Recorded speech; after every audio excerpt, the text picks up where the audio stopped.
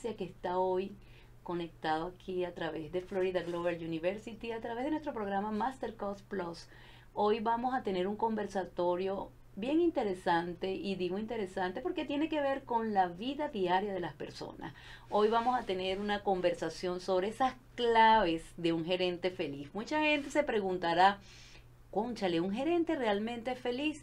Y después de conocer a esta pareja fabulosa de mí de la felicidad, estoy segura que los gerentes pueden optar por ser felices o ser infelices. Total, eso es una decisión. Pero qué maravilla nosotros poder ser felices y tener personas preparadas en esa área que nos puedan enseñar a trabajar con felicidad. Porque una persona que trabaja con felicidad, le aseguro que vive en felicidad.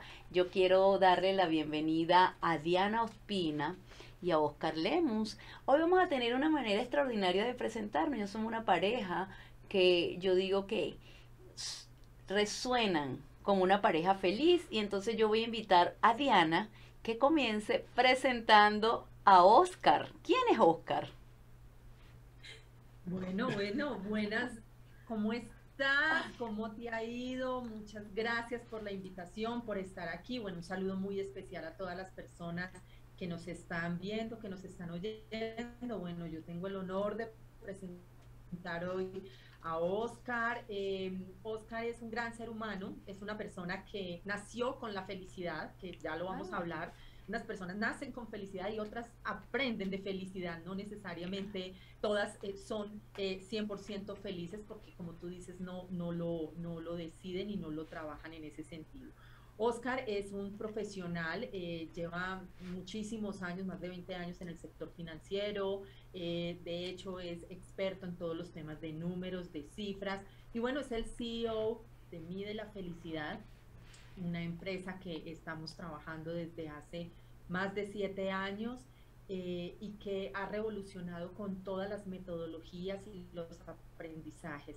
Oscar es, eh, bueno, eh, un gran, gran esposo, un gran padre, un gran amigo. Y bueno, él se caracteriza porque tiene que estar feliz, tiene que estar viviendo y sintiendo lo que hace. Si está lavando la losa, tiene que estar escuchando música y bailando. Entonces, bueno, este es este gran ser humano eh, que, que está con nosotros.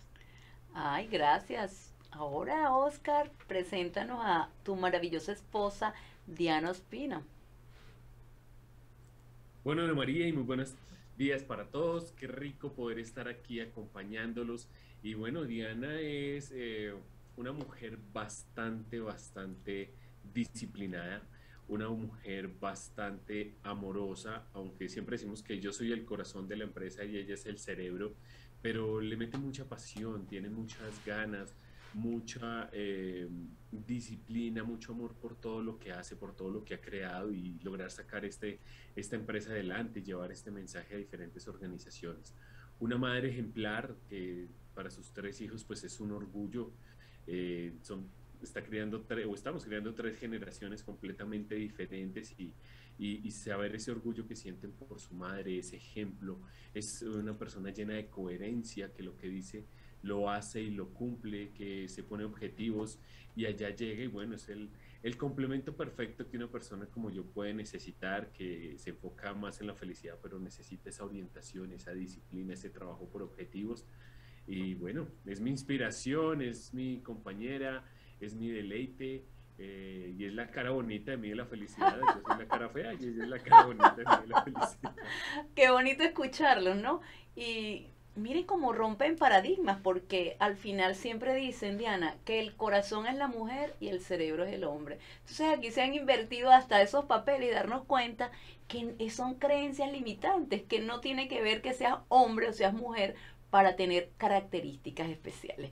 De verdad que bienvenido, me encanta cómo se presentaron y se ve el amor que se respira entre ustedes y quién no va a querer formarse con personas que están realmente conectadas con lo que hacen, que hay pasión y que no solamente lo llevan al trabajo, sino a su vida. O sea, hay congruencia por lo que sienten, por lo que piensan y por lo que hacen. Pues vamos a comenzar con este conversatorio. Hoy yo quisiera preguntarte, a, cualquiera de los dos, el que quiera responder, vamos a preguntarte ¿Qué es un Chief Happiness Officer y por qué es importante para las empresas formarse en esta área la felicidad? Claro que sí, Ana María. Bueno, un Chief Happiness Officer un gerente de felicidad organizacional es la persona encargada que tiene ese rol que están necesitando en este momento toda empresa, toda institución, toda organización, independientemente de que sea privada, pública, el Estado, los países eh, deben tener una persona o varias personas enfocadas en construir o transformar la cultura enfocada en la felicidad de sus colaboradores. Pero que se entienda que no es que tiene que salir a solucionar los problemas de los colaboradores para que sean felices, no. Es la persona que crea las características, crea las condiciones para que entre toda la empresa se construya esa cultura de felicidad, porque esto es un trabajo que se necesita. ¿Y por qué es importante? Porque de acuerdo incluso de esta crisis económica que está viviendo el mundo, crisis, estamos viviendo también crisis social, crisis de salud, eh, se está presentando un problema y es eh, los altos niveles de estrés, ansiedad, depresión, renuncias en las organizaciones, falta de objetivos, falta de sueños, falta de metas por la misma incertidumbre que el mundo nos está dando. Y esto está afectando muchísimo, no solo la economía, sino los esfuerzos que están realizando las organizaciones para generar nuevos empleos, para fidelizar a sus colaboradores y asimismo que ese entorno donde se está moviendo el colaborador, ya sea en su casa trabajando de forma virtual, pero que está junto a su familia, está incluso ya deteriorando estas relaciones familiares. Entonces vemos cómo eh, un Chief Happiness Officer tiene un alcance y un poder muy grande que necesita desarrollar, gestionar y aprender para poder construir esta nueva cultura que todos estamos necesitando. Es buenísimo escucharte porque yo hoy le comentaba a mi compañera de trabajo que me sentía estresada, no por, no por el trabajo que hago aquí, ni por el trabajo realmente que hago, sino porque estoy desarrollando una habilidad nueva. Y yo que, wow, me siento como estresada. Y ella me decía, tranquila, respira, que, eso te va a ayudar. Y entonces me dio risa porque ella dice, estoy volteando la tortilla, ¿no? Te estoy trabajando un poco con lo que tú haces y todos vivimos de repente un estrés. Entonces yo te escucho y algo que es clave, ¿no? Escuchándote cuando tú hablas de colaboradores, ya no hablamos de empleados, sino de colaboradores, de esas personas que colaboran. Ya con decir esto, la gente se siente parte de ese equipo, se siente parte de ese cambio.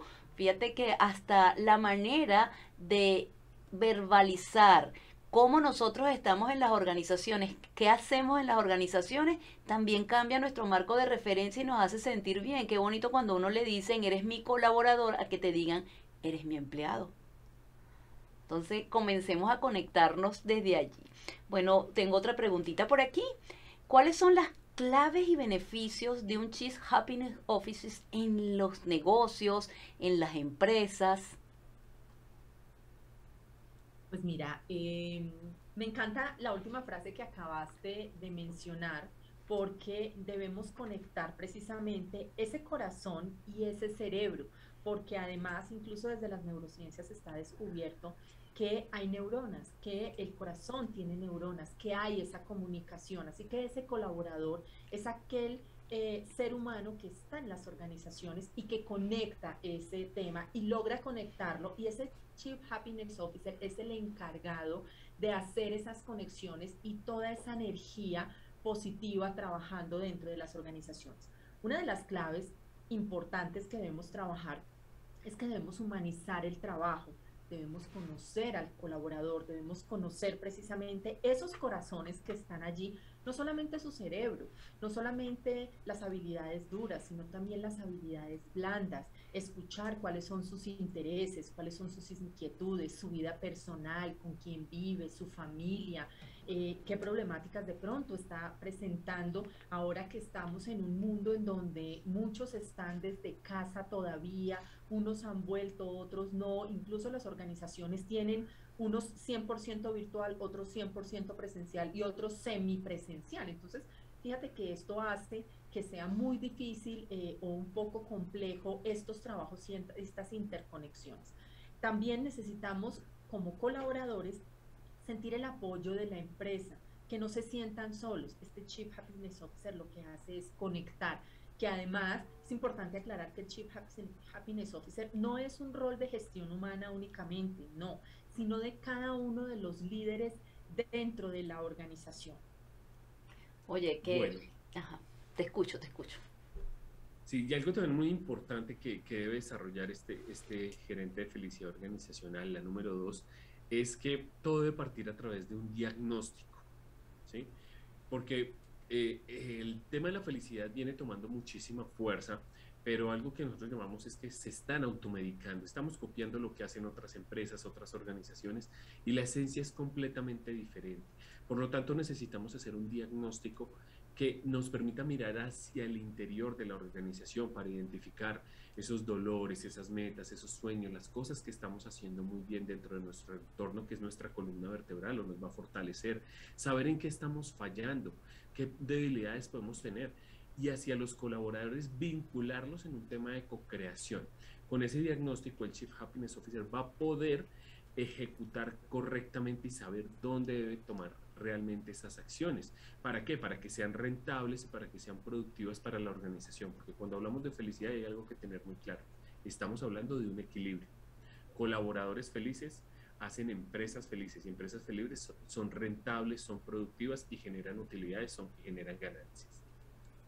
Qué bonito, qué bonito cuando escuchas eso y dices, wow, una empresa feliz es esa empresa donde, de la que yo formo parte y me siento bien ¿Por qué? Porque me, recono me reconocen como parte importante y muchas de, los, de las situaciones que pasan en las empresas es esa falta de reconocimiento del otro, ¿no? Y es así como interconectarnos, ¿no? Con el corazón, como decías ahorita, conectar el cerebro con el corazón y más allá de eso, que esos cerebros y esos corazones estén en sinergia para que se dé de verdad esa felicidad y la felicidad definitivamente es un proceso de construcción, o sea, tenemos que aprender a ser felices. Eh, pienso que lo, como digo, los paradigmas antiguos estaban más basados en la infelicidad, porque no, se, trabajaba más en lo que en lo que tú podías producir, pero no en cómo te sentías para hacer ese para hacer que las empresas funcionaran mejor y cada día fuesen más rentables, como lo acaba de decir Oscar. ¿Y cuáles son esas competencias, chicas, que tiene que tener el gerente de la felicidad, esa persona como el Chief Happiness Officer, que sea de verdad una persona eficiente. Entonces, ¿cuáles son esas competencias que tiene que tener esa persona? Bueno, pues tiene que ser una persona estratega, una persona que tenga muy buen nivel de comunicación, eh, que eh, desarrolle mucho, tenemos dos oídos y una sola boca y a veces hablamos más de lo que escuchamos, de poder tener eh, y entender a esos colaboradores, de conocer sus sueños, trabajar por los sueños, las metas, de integrar también los sueños y las metas de la empresa con los sueños y las metas de los colaboradores, porque una de las fallas más grandes que se tienen en las organizaciones es que cuando se habla del plan estratégico, los colaboradores a veces no sienten que hagan parte de ese plan estratégico. Si yo no hago parte de ese plan estratégico, pues yo hago eh, lo limitado, lo básico, lo estándar. Eh, por eso cuando se trabaja en felicidad organizacional, eh, no solamente eh, los líderes son felices, sino que irradian y apoyan en esa felicidad, que pueda trabajar a partir de datos, de cifras, de números, de entender cuando se mide la medición, cuando se hace la medición de felicidad organizacional, entender que no es solamente hacer temas de motivación y capacitación, necesitamos es entrenar a los colaboradores, pero saber exactamente en qué, cómo generar conciencia en la organización para poder trabajar de una manera cohesionada en ese trabajo en equipo, que es otra de las competencias súper importantes que debe desarrollar con los colaboradores. Y ese Chief Happiness Officer no solamente está de cara a los colaboradores, también está de cara a los clientes, porque a los clientes también se le mide la felicidad, a ellos también se les pregunta qué es lo que te hace feliz a ti en la empresa, por qué tú vienes y depositas el dinero acá y no te vas a la competencia, cuáles son esos diferenciales o qué tal vez no estamos haciendo que deberíamos nosotros como empresa solucionarlo y trabajarlo. Entonces ese Chief Chief Happiness Officer debe ser ese que conecta la organización tanto en la parte interna como en la parte externa y debe tener todas las habilidades para entender, ser muy fuerte con el proceso, pero muy suave con la persona, trabajar en las habilidades que tienen los colaboradores más que en las debilidades, porque cuando trabajamos en las debilidades es muy complejo que eh, podamos desarrollarla. Precisamente por eso es una debilidad, porque o no lo podemos hacer o no tenemos la, la, mejor forma de hacerlo. En cambio, explotar muchísimo más lo que nos gusta hacer, para lo que somos buenos, pues va a hacer que el trabajo sea mucho más fácil y que el uno más uno siempre sea más que dos. Eso me, es, es, interesante escucharte y sobre todo cuando hablas de la de desarrollar ese potencial de que tienen las personas, sus habilidades, porque de alguna manera rescatas el autoconcepto y el autoconcepto incide directamente en la autoestima. O sea, si yo siento que lo que hago lo hago bien y me lo reconocen, va a ir fortaleciendo mi autoestima y por, por, supuesto que voy a hacer mi trabajo con muchísima, muchísima felicidad. Bien interesante. Te escuchaba y decía, entonces el Chief Happiness Office es un líder que monitorea, que media y que acompaña en ese proceso a todos los empleados para tener cambios positivos. Oye, bien, bien interesante, o sea que está bastante relacionado con el liderazgo. Y ahora yo te hago una pregunta que me llega así. Es un, un, proyecto muy interesante, muy bonito y de hecho nosotros aquí en la Florida Global University vamos a ser aval de ese programa. ¿Cuál es tu experiencia o cuál es, es la experiencia de ustedes, perdón? ¿Cuál es su experiencia? ¿Es la primera vez que van a dar este, esta formación o ya tienen una experiencia previa para este, esta nueva corte que van a abrir. Eh, sí, nosotros eh, llevamos desde el 2019, lanzamos nuestra certificación eh, como gerente de felicidad organizacional en Centroamérica, en el mundo presencial. Alcanzamos a hacer dos certificaciones hasta que llegó el COVID y nos sentó, pero nos sentó y no nos quedamos quietos replantear la estrategia. Sí, dijimos, nada, nos vamos al mundo virtual, los colegios, las universidades, todo el mundo se fue al mundo virtual, entonces nosotros también. Y en el mundo virtual hicimos cinco certificaciones como gerente de felicidad organizacional. Y bueno, estamos muy felices, como dices tú, de que ahora la Florida Global University es quien nos hace ahorita el aval de nuestra de nuestra certificación como gerente de felicidad organizacional titulada Chief Happiness Officer. Eh, que vamos a iniciar este próximo 28 de agosto. Eh, son, es un programa eh, que es muy robusto de 80 horas, entonces, bueno, esa sería nuestra octava certificación, sexta en el mundo online y octava en total desde que la iniciamos en el 2019. Oye, qué, qué, qué interesante, ¿no? Que ya no es que, sino que ya tienen una experiencia previa de todas esas formaciones. De hecho, tienen un libro, Mide la Felicidad, que se los recomiendo, una bibliografía bien interesante que complementaría muy bien tu formación, ¿no? Entonces, también me pregunto, porque ahorita hay cantidad de formaciones, mi querida Diana y mi querido Oscar, ¿qué marca la diferencia en esa formación de ustedes? Bueno, eh, hay varias cosas muy importantes que generan esa diferenciación. La primera, como dices tú, la experiencia que ya hemos venido recorriendo durante estos eh, dos años de formación, pero adicional a eso los más de siete años que llevamos de investigación, porque somos investigadores de la felicidad organizacional. Así que eh, sí tomamos algunas teorías de lo que se ha investigado en el pasado, pero también les enseñamos los resultados sobre la investigación propia. ¿Cómo se hace esa investigación? Con el modelo que solamente van a encontrar con nosotros, que es el Business Happiness Index Program, el BIPRO, aplicado tanto a colaboradores como a clientes. Por lo tanto, con resultados, con cifras, con data real aplicado en empresas reales, un Chief Happiness Officer va a saber qué decisiones puede tomar.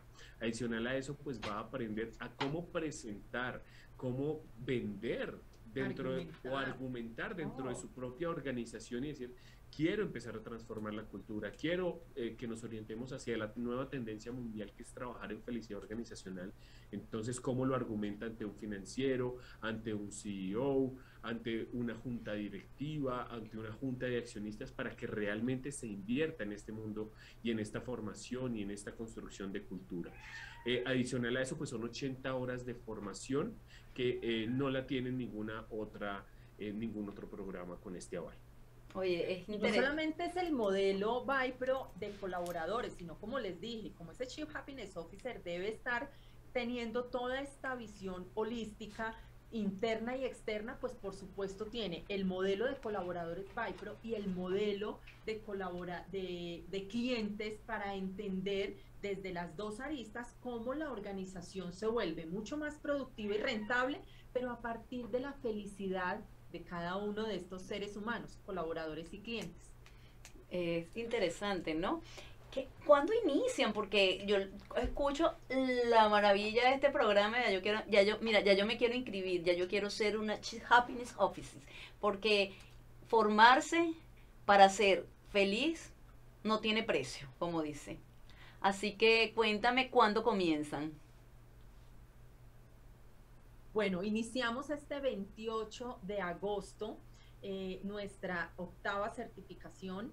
Eh, ya tenemos las inscripciones abiertas, tenemos por supuesto eh, obsequios para las personas que empiecen a inscribirse, que nos escriban a comercial arroba midelafelicidad.com o que a través de nuestra página web www.midelafelicidad.com igual pues van a tener ustedes aquí el enlace. En este momento estamos dando una promo de 100 dólares de descuento, entonces aprovechen eh, las primeras personas y las primeras cinco personas que se inscriban con nosotros van a tener también una masterclass en, en ese grupo, esas cinco personas en, prima, en privado con nosotros para asesorarlos en todos los temas de felicidad personal y organizacional desde el mundo en donde lo estén trabajando para nosotros con nuestra experiencia y con todo el conocimiento poderlos apoyar y asesorar.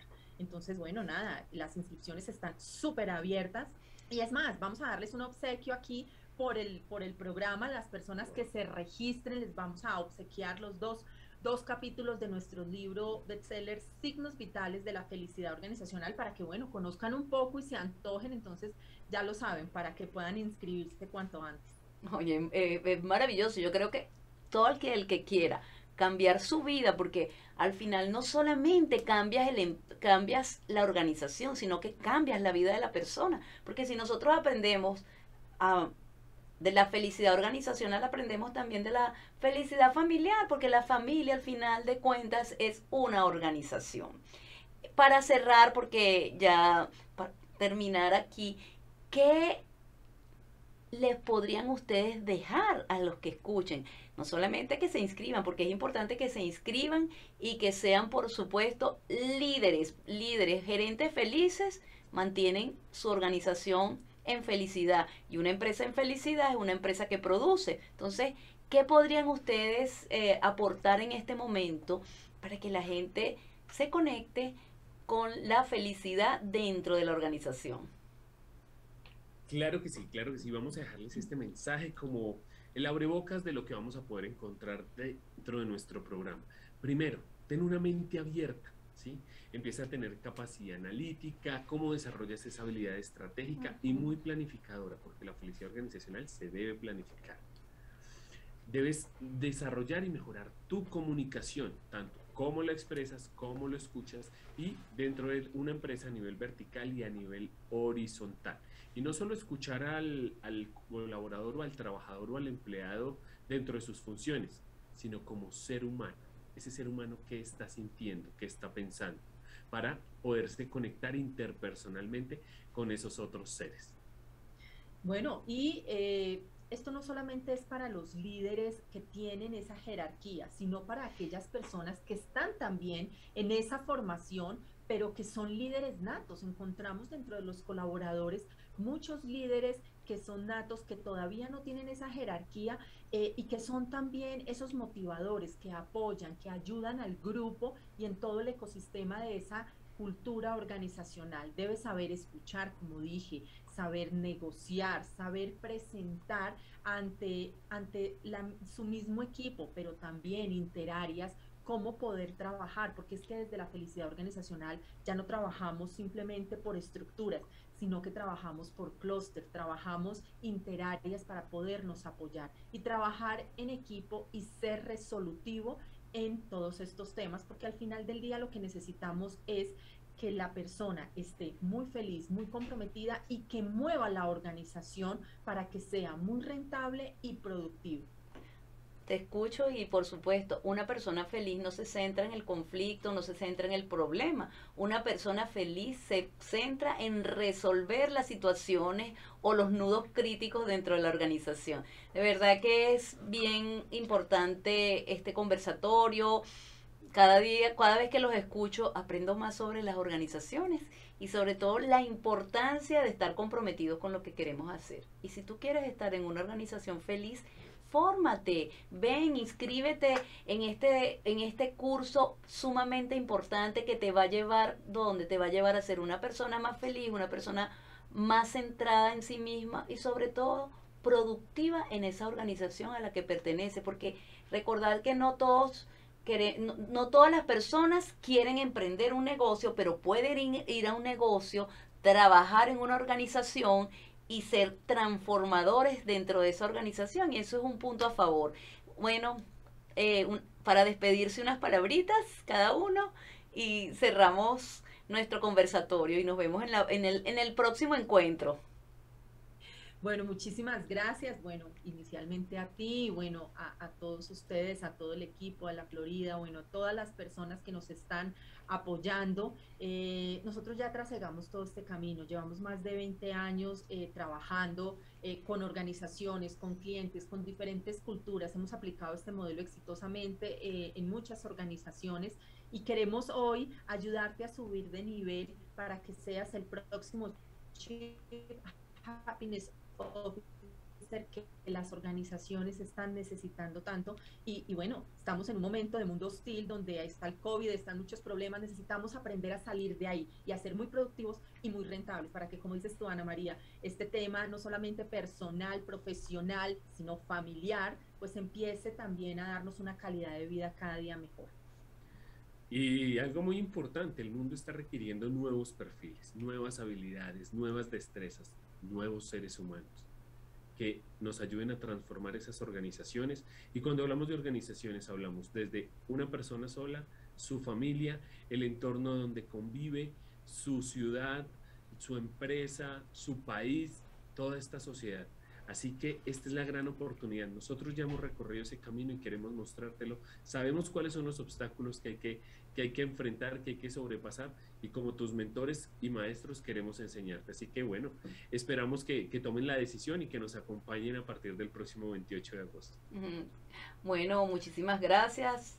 Es riquísimo hablar con personas que estén tan preparadas en un área que suena bonito, la felicidad, pero es un área álgida que muchas veces no se habla por temas, eh, yo digo por creencias limitantes, pues empecemos a abrir la mente y también el corazón para hacer una conexión positiva que nos permita ser cada día mejores personas y ser cada día más felices en esos contextos donde nos toque desempeñarnos. Muchísimas gracias y cerramos ya nuestro conversatorio.